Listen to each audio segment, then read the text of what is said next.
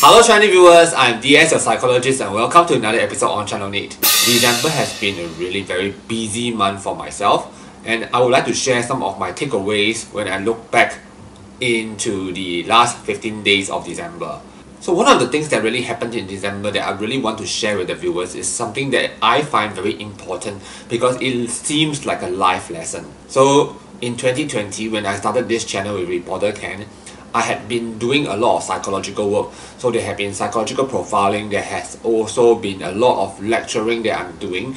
But all this work has become really cut and I'm almost 99% doing tarot card reading. So it is my main job now.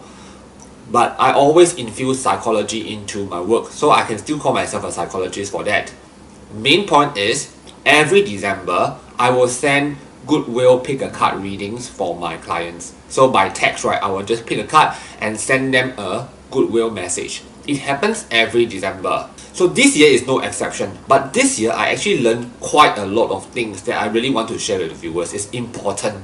Now, given that I have accumulated a lot of clients, my premise is I want to send a goodwill reading to all the clients. So in the past, there had also been clients who had made a booking, but they just did not turn up or they cancelled on the last minute and they never followed up. So I have their contact. I thought that I will also do a goodwill pick a card reading for them. But honestly speaking, by now I would have got about 500 to 600 different clients in my database. So for many of these clients, I have on a very regular yearly basis been sending them so they were all clients and I realized that many of them right in 2021 or in 2022 2023 I have been sending them a goodwill message.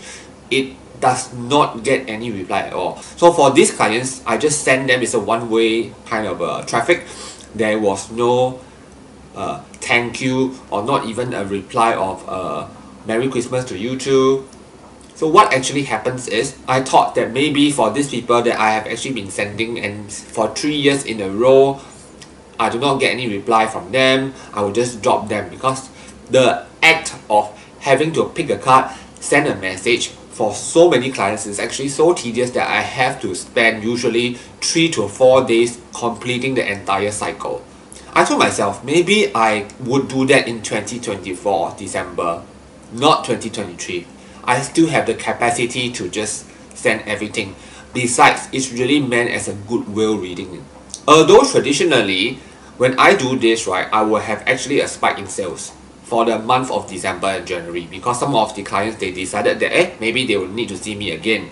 But this year has been a little bit different because I was really hesitant sending a goodwill message to some of the clients that have not been replying.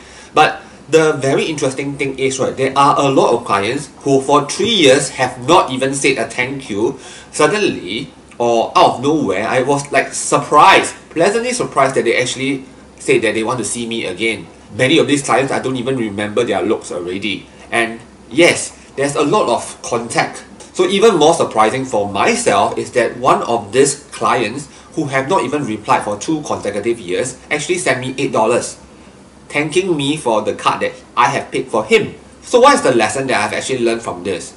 The important lesson is, as an ENTJ, we are very judgmental and we exercise a lot of projection.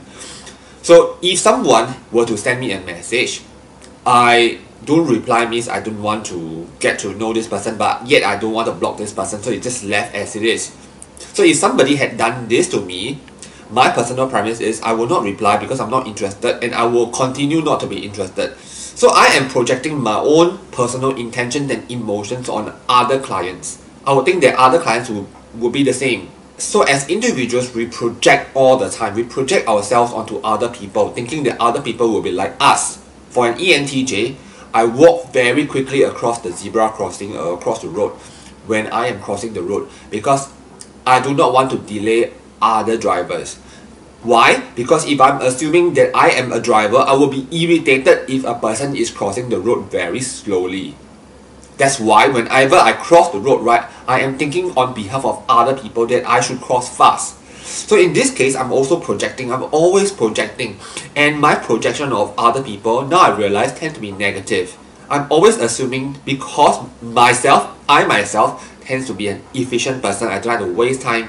So I always had this kind of uh, feeling that other people don't like time wasted and therefore if they do not like a particular person they won't reply. But for this year I realized that my own assumptions are not true. Naturally, I think about still a good 25% of my clients did not send any reply again. But the more important thing is 75% of the clients did at least send a thank you message. So given that I really want to do this out of goodwill, I think this is a good outcome already. I shouldn't be expecting anything. So more importantly, I really feel that this is a good episode because I want to tell viewers, because most of my viewers would have been INTJs and ENTJs, that you might, especially ENTJs, you might be really projecting your intentions onto other people, thinking that other people will behave the same way as you. But I think most of the time you might be wrong. So my strategy of sending a goodwill message for this year really opened up many doors. And I am pleasantly surprised by what I have done for myself because I was actually reluctant to do it. Now that I think about it, from the point of view of the recipient, it is really very fun to actually receive a message. Many of my clients, they actually refer one another to me, so they know each other. They actually got very excited trying to compare which card is actually drawn for which of their friends. It's almost as if there is a new topic for me to get them to talk together as a group as well.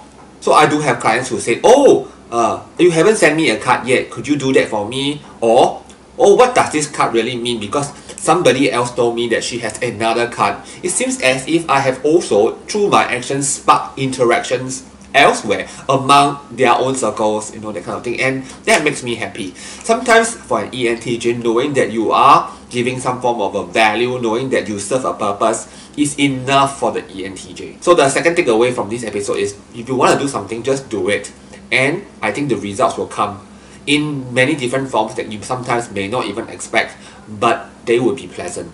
Okay, at Channel NITT, we produce a lot of INTJ, ENTJ videos such as this one. I hope that you also enjoy this kind of uh, life lesson type of videos. If you have not already subscribed, do consider subscribing so that we can bring you more INTJ, ENTJ and fun stuff. Okay, I'm going to sign off now and I'll see you in our next episode. Bye bye.